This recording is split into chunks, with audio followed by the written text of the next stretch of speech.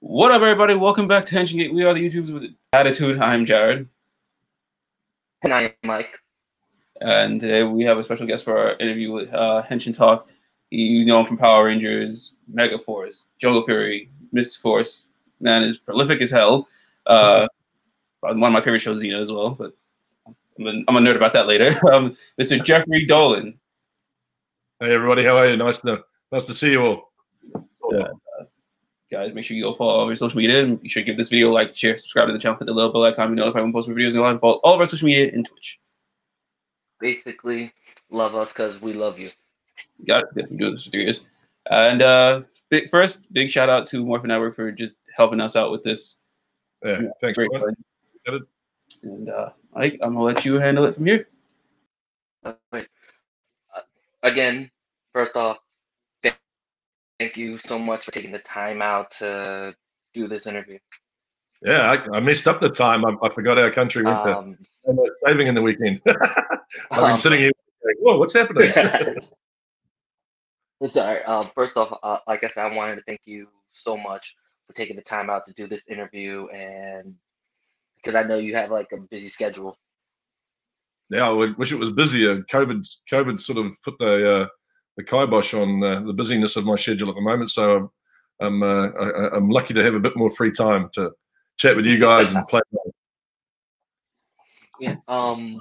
First off, my que- my question is um my first question is what what was your ins- who was your inspiration growing up when it came to um uh, acting or or the Um, performing arts? I, I've got to be honest and say my, my inspiration was my grandmother. Um, uh, she was a, a feisty lady who uh, sort of uh, railed against uh, tradition, and um, you know she grew up in a time of uh, very prim and proper way ladies should be. Um, but she always wanted to be a performer herself, um, and unfortunately, um, sort of uh, tradition and my grandfather sort of um, stifled that a little bit. He didn't think it was right for a, lady to be out on the stage and performing and things like that. He, he was one of those gentlemen of uh, that upbringing. Um, not to say he was a bad person at all. He was a, he was a, an awesome person, but he just had his his, his thoughts on tradition and um, yeah, and so it stifled my grandmother. So, but she still managed to get out and get involved with some performance groups, and I used to go along and watch her. And I just thought it was amazing. I just and and she used to sing, wandering around the house, as did my grandfather on the secret he used to privately he'd wander around and when I'd stay with him, um, I, i'd be up upstairs in the, my, my bedroom and he'd be wandering around downstairs thinking everyone was asleep. And he'd be singing away to himself. He had this brilliant bass voice. And he'd, he'd be wandering around the house singing these sort of operatic uh, tunes to himself thinking no one could hear. And i would just upstairs going wow that's just amazing. Um, and then the same thing with my nana. As i say when she got on stage it was just like it was a revelation watching and going, that looks like she's having so much fun. She's that's the real Nana that I love. And and so yeah, she was a real inspiration. She came to all my early shows. Um, and I loved the feedback I got from her. And uh, and I, I like to think that I, because of me getting on stage, she was able to live slightly vicariously through me as well, and uh, and and enjoy some of the maybe some of the uh, aspect of life that excuse me that she missed out on a little bit because she was held back. De- definitely. Um, because like, uh, I actually sing a little bit too. I sung uh in the chorus in middle school as well. Right. Good. Yeah, I think everyone can sing. Uh, my, my my attitude was singing. People get up there and they hear me sing, and they go, "Oh, you know, no, no one can do like that." You know, no, no. And actually, it's the opposite. If I sing, it tends to inspire people to sing. Um, and I believe people can sing if they, as long as they sing from the heart, um, and, and and put their commitment into what they're singing about. Um, that's singing. It doesn't matter how it sounds. Um, it's just when people get up on stage and scream for the sake of screaming and want to sound like a rock star that that that'd always be like, no, that, that's not good. But if someone gets something, just gives full effort, if they're singing a, a hymn or they're singing a song at a funeral, or they just want to get up and let out at a karaoke, um, as long as they're really committing to it and enjoying it, then I'm right behind it. And how it sounds is unimportant. I- I agree with you 100%. Um, my second question is um, this is a, a Power Ranger related question. Yep. How did, how did you land the role of the voice of Korag? Um, we just through an uh, audition process as, as, most of our roles are. I actually had a couple of auditions last week for some more voices upcoming. Um, haven't heard anything back yet, so, but you don't. You just don't worry about them. You go and do the auditions and walk away. Um, and when I auditioned for Korag, they don't let you know how large the mm. part's going to be. Um, so, so you're sort of just going in thinking it's another generic voice or it's another character voice that's going forward. I am so sorry. Sorry, uh, you were breaking up. Oh, sorry about that. Um, yeah, so you, you don't you don't get told how large the part within the context of the show is going to be. So you you generally just go and do your audition, giving it your best effort for whatever the character might be, however you want to express it. And you find out later on uh, whether you know the, the size of it. Then so Korag was a big surprise. Am I having sound issues, or are you having sound issues?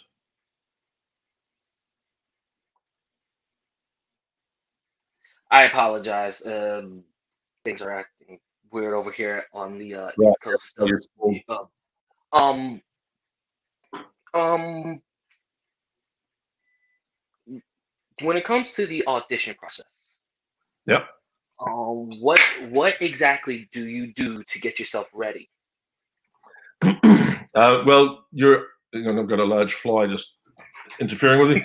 uh, you're um, your uh, your agent sends you the briefing documents on the on the show and on the characters mm-hmm. and and the scripts that you're going to be auditioning with and generally the script is only half a page of dialogue uh, that's uh, it gives you enough time to demonstrate the vocal character mm-hmm. um, and it's basically have a read have a think have a play around with it yourself and then when you get in the studio um, whoever's uh, operating the uh, the console uh, the director that's there, generally Jim McClarty uh, or Laurie Dungy is uh, coming back on board this year, I believe. Um, they will give you guidance as to what they've been told as well through production. Um, and but they pretty much in the audition process they let you decide how you want to um, uh, portray the character, and they will just make sure that you're um, uh, hitting your accent points properly, um, and uh, pronunciation of certain words. Like you know, we when we speak, we say mirror when we're talking about looking in a mirror, where as opposed to American accent, it's more a mirror, and uh, and it's, so they, they, they help you out with that. Um, I had a during the Korag time, I had a what was it Gosei? It might be Gosei actually. Um, I, I, I had a huge issue with saying Armada. Um, I couldn't get the pronunciation accurate, and Jim and I used to sit in the studio, and and he would um, no Jeff, it's not Armada, it's Armada. And I, I, I say, but I'm saying that. And he goes, no, you're not. And I go, yes, I am. And we'd end up having an argument. And I go, why can't they just put fleet? And uh, they go, I know, I know, that's better, but they want a martyr. So say a martyr. So, yes. So that's that's where you get the assistance there. The directors are really helpful in that way of keeping you on track, um, pronunciation strong, um, but also giving character advice too from knowing, uh, having had closer discussions with the producers and the directors as to what they are wanting. uh, Okay. Um. Th- thank you for that. Um. Now this is a, and I, I know you were on uh, Xena Warrior Princess for a brief time. um. What was it like actually on on the set of Xena Warrior Princess? I, I only did one episode of the of Xena. I did about six of Hercules. Um. Uh, but the episode I did of Xena was uh, one of one of the fun ones. It was a sort of a musical um, uh, sort of situation as well, I think. And the the atmosphere on those sets once after a couple of years, once things got really established and people got really comfortable uh, with what the production process was, the um, the expectation from the American producers, uh, we we ended up having a lot of fun on it because um, the uh, guys actually stepped back. So um, Rob Tapert and stuff actually stepped back and let a lot of New Zealanders take control um, Michael Hurst, who played Iolaus, um, ended up directing quite a lot of the production um, in the end. And I was lucky enough to be in quite a few of Michael's uh, shows. So on set, we we had a great time because we were really comfortable. We'd, we'd worked on stage in, in Auckland and around the country together. Um, and we had this good re relationship, and many people do. You know, it's a small industry in New Zealand, so the professionals here work together quite a lot in various uh, modes, and so you become very comfortable with each other's style and uh, and humor, uh, and work ethic.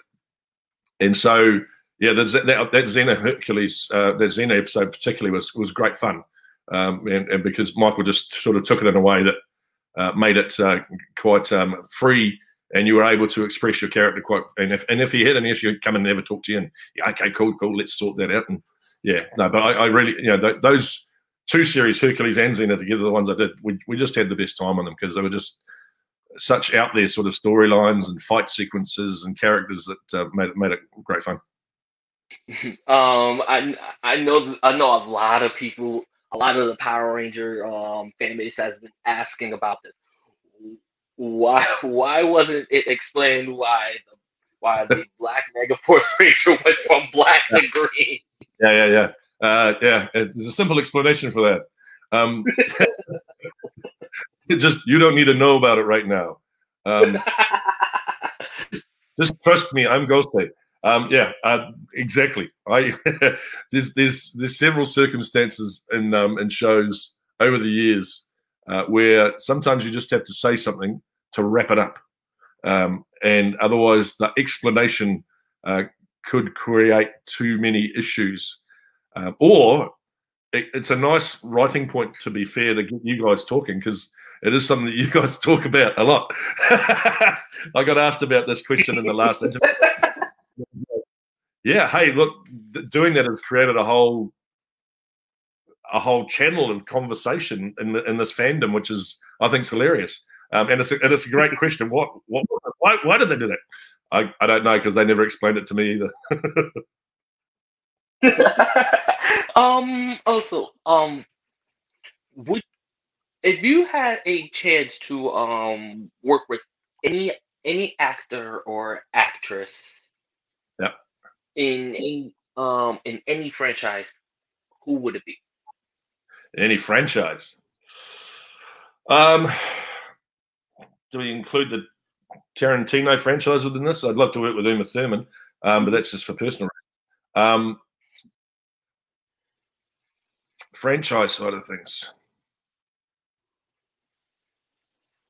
I think um, I think Hugh Jackman in the in uh, in, in the X Men franchise, I thought was a he he created a great development of that character through to its uh, final um, iteration, and I, and I thought that was really cool because he, he took a, he took basically what was a cartoon character and really humanized it really strongly, um, and I'd love to work with like that, you know.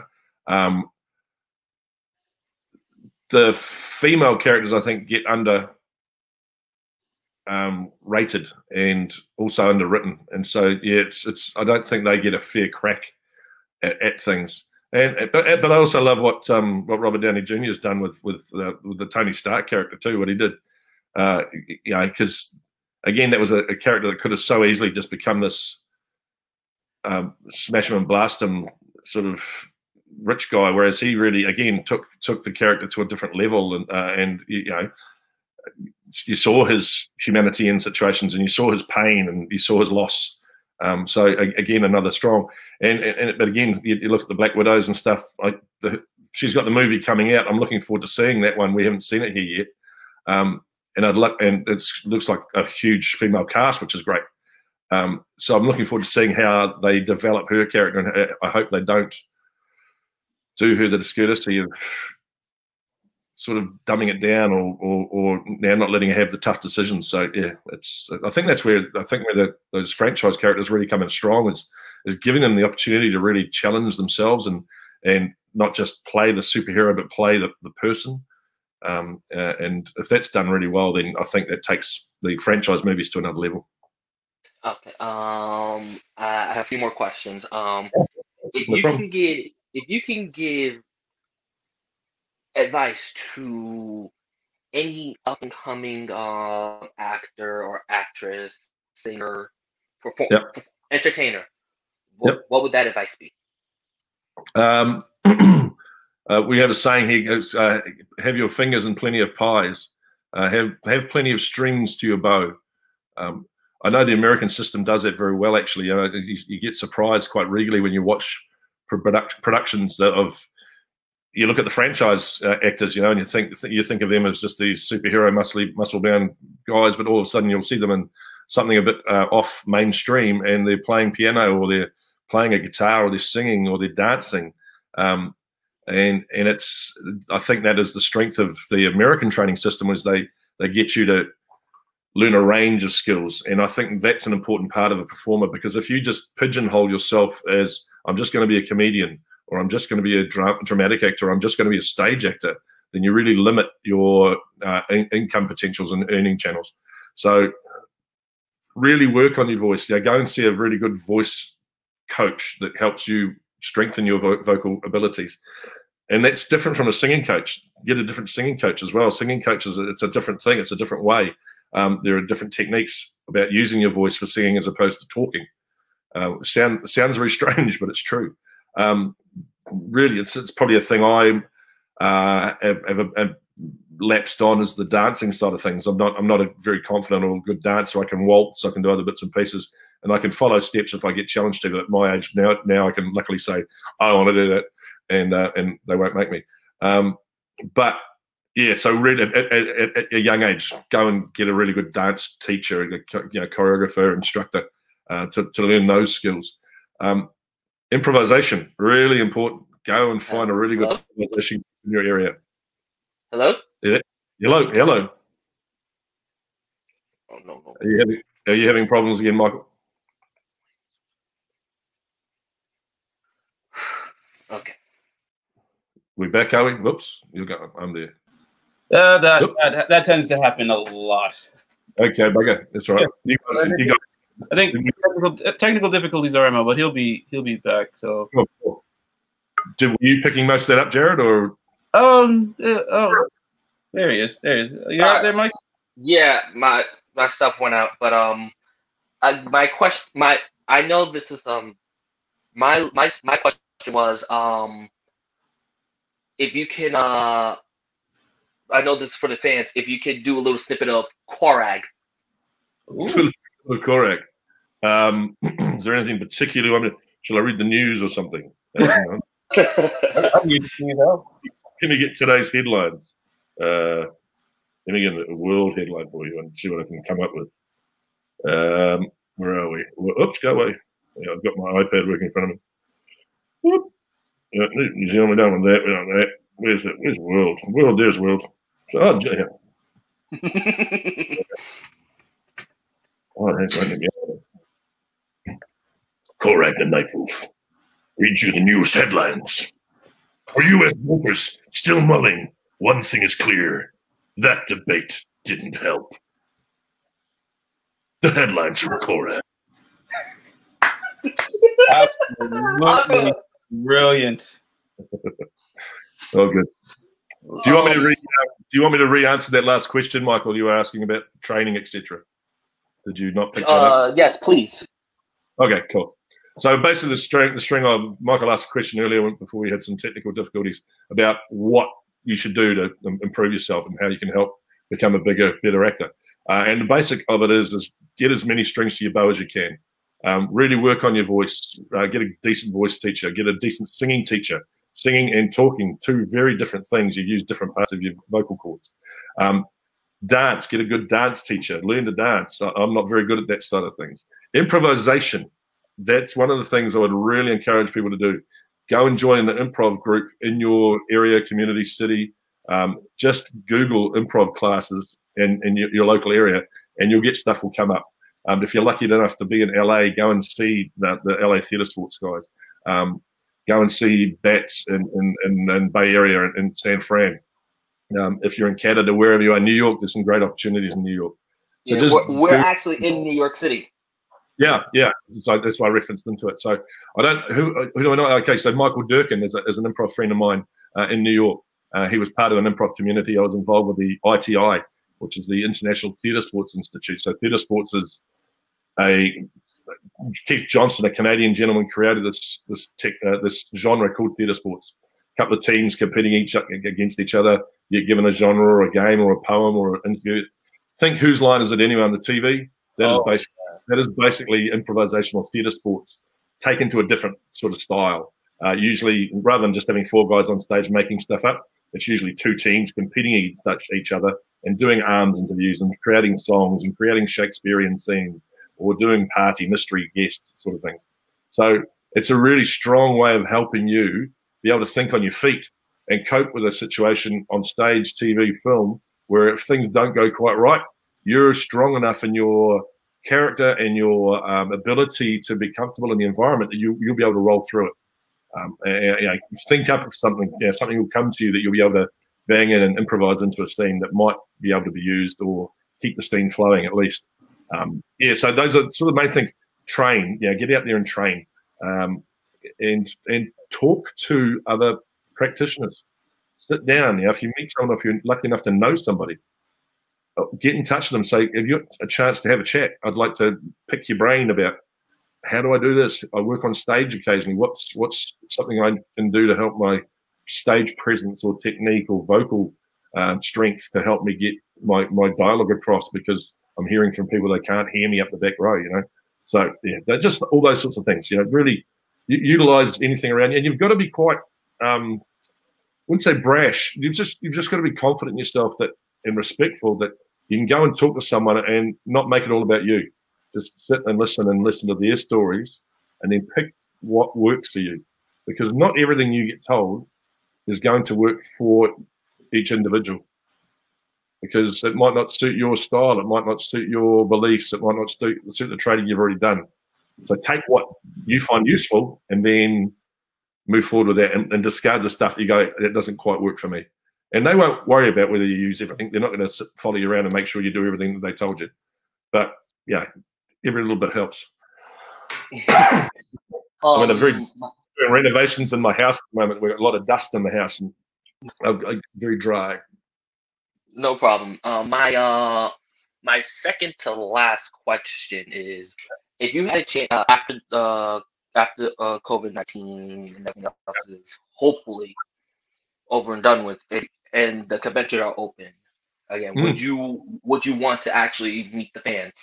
Oh heck yeah, yeah. No, I'd love to. Um, uh, I've already been in contact with a few uh, groups that done a few earlier interviews and met up with a few uh, people via them, via Ryan, etc., who um, have asked me the same question. And I'd be very keen to come over. I just have to make sure that things are safe, though. Um, uh, despite what um, your mighty leader might say, um, uh, yeah, we don't we don't trust them. So um, uh, as much as he wants to get the economy flowing, and there's nothing wrong with that it's got to be done in a way that I feel safe. And uh, so I'm not going to just burst over as soon as the borders open. Unfortunately, I'm asthmatic, so I'm sort of uh, health compromised. I'm immune compromised in that way, and so it's it could be dangerous for me to come bowling in as soon as things are able to. And there's still a, a really large uh, potential for uh, for risk for my health. Um, but yeah, once things are proven to be a lot more safe and and people are behaving in a way that um, I feel comfortable in, uh, you know, um, the, your whole attitude over there about masks and and and sanitizing and and conspiracy theories about it actually being real. Um, yeah, it's it, it is very concerning. So um, uh, yeah, for, for me, yeah, I'm dead keen to come over. Uh, it just has to be under the the right um, uh, right environment. Definitely. Uh, again, I'm terribly sorry about the technical difficulties. All right, no problem. And um, I want to thank you again for taking the time out to do this interview. I also want to give a shout out to Ryan from Morphin Network for helping us yeah. with this interview. Uh, ah, there we go. Oh, oh Ryan. yeah, sure. Um, uh, Ryan, uh, I don't know if people see that. You probably can see it. Um, Ryan has just asked about uh, so Thor talks. Um, so I'm still doing some at the moment. I've got, I've got actually why I'm still a bit like this. I, I grew this in for a, um, a, a couple of commercials that required it uh, that I was auditioning for, and I was about to shave it off, but I'm going to keep it because this afternoon I'm going to go out and record a few more of my Derek's Thor talks. So um, uh, Derek is a character I played on a New Zealand TV series called The Almighty Johnsons, uh, and you can reference that on Google, etc. Um, and uh, the premise of it was that there was four brothers who were descended from the Norse gods and had retained small portions of the power. So one was a poet, the other one was a, uh, a, a, an expert at games, and of course one of the characters was Odin. So he was the all father of all Norse abilities. Uh, I played Derek, who was a, um, a slightly um, crazy goat farmer who turned out to be uh, the descendant of Thor. Uh, and Thor was a bit crazy, but nuts. And so I had a great time with that.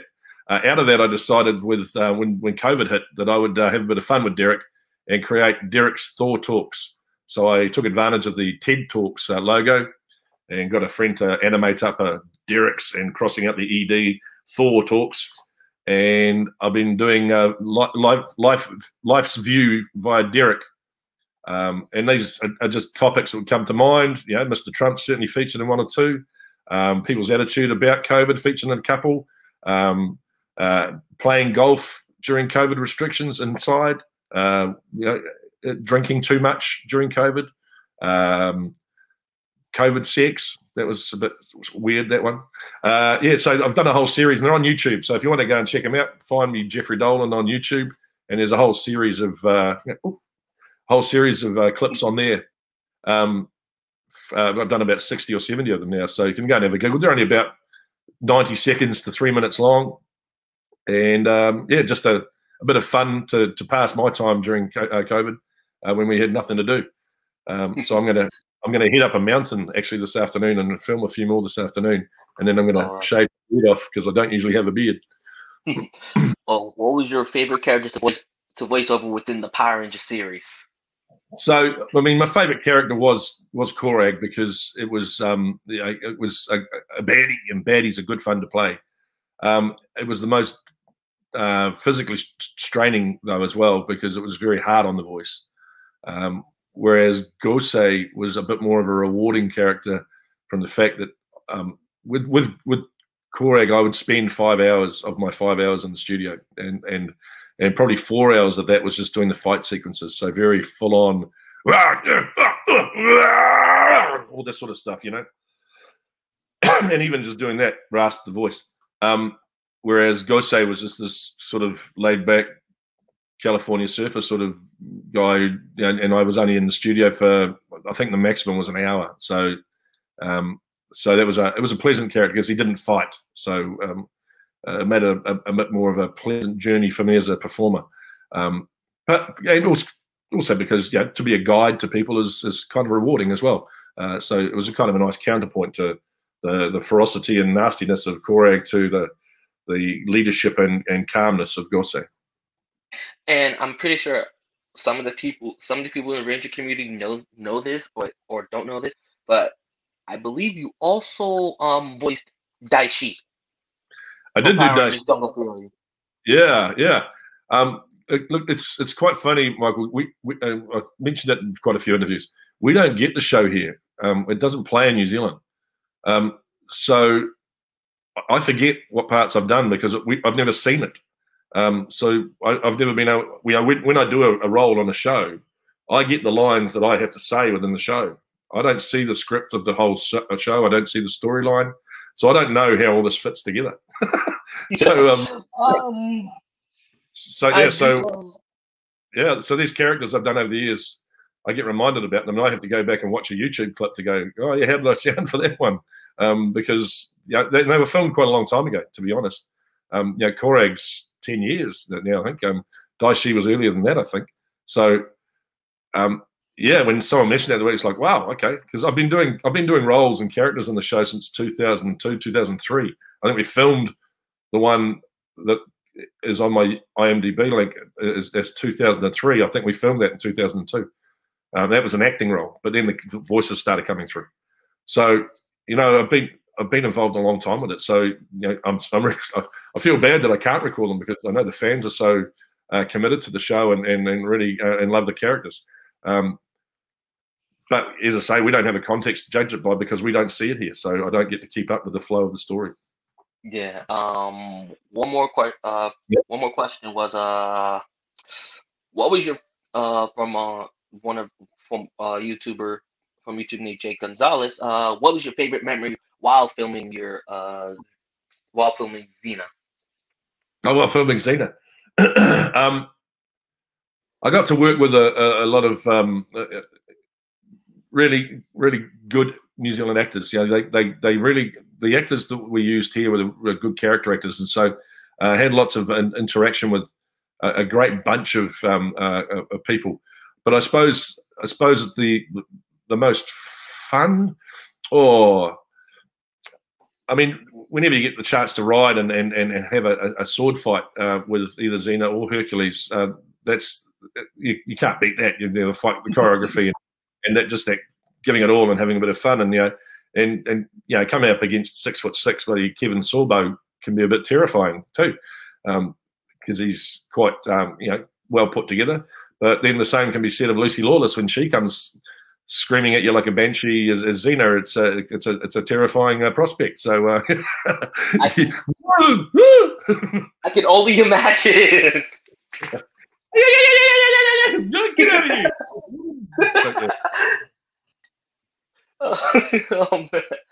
um, for uh, another question is what is what it, what was it like to play as Koragg and saying the spells and calling the Megazords? Say again. Sorry, I missed that.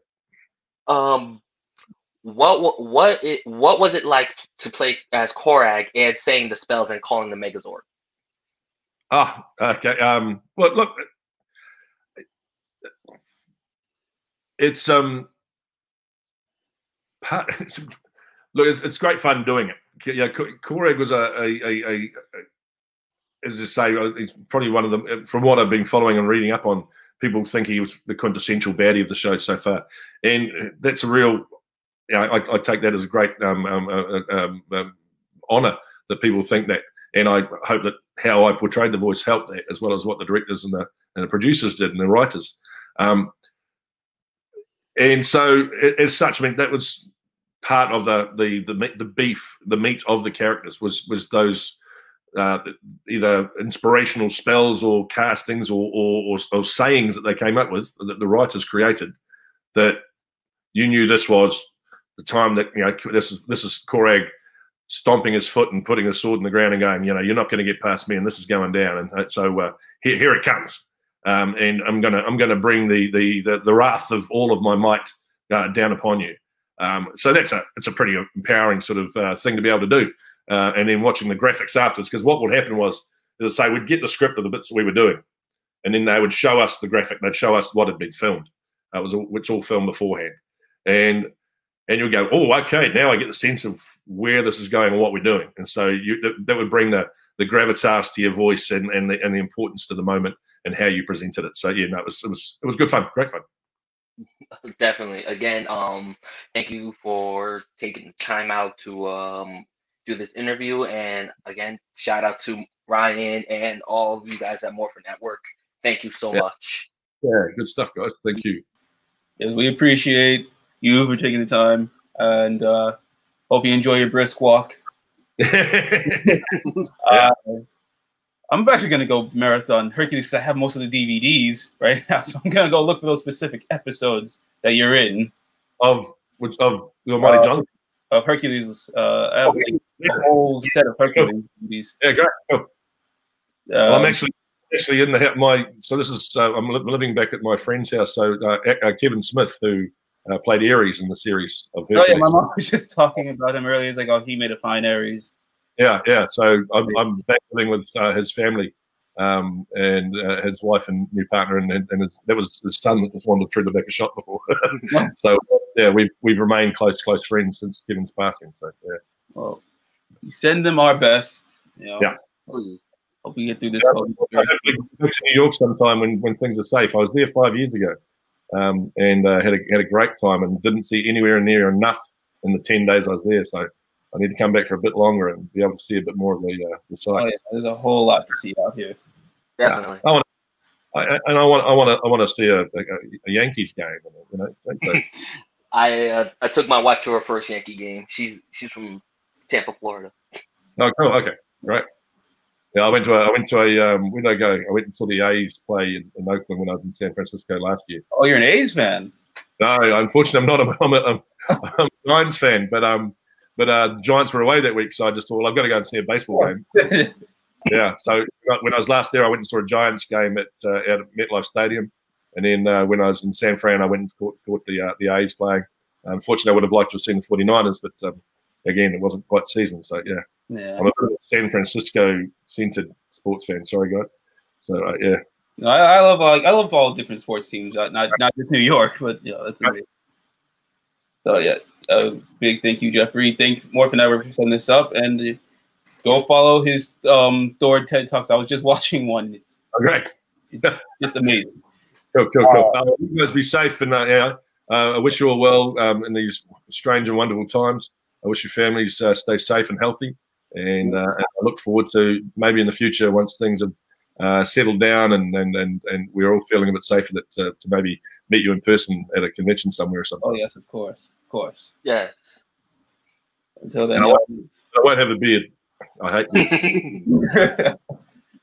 but yeah, this has been Henshin Talk, y'all. Until then, catch you guys later. Peace. Bye now.